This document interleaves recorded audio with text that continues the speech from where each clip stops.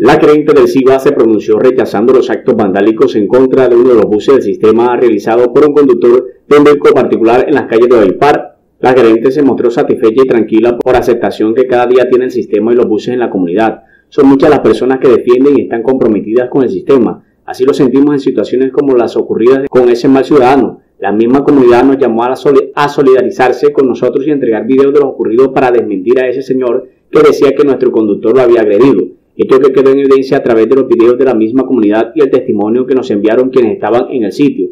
Eso nos agrada porque es la gratificación de respaldo que le brinda el sistema. La gerente reconoció que en estos 130 días de operaciones y con 250 personas vinculadas al sistema se han presentado inconvenientes y algunas quejas contra los conductores que han aplicado los procesos disciplinarios correspondientes, tomando decisiones drásticas como el retiro de algunos de los implicados en acciones contrarias al manual de comportamiento de la entidad.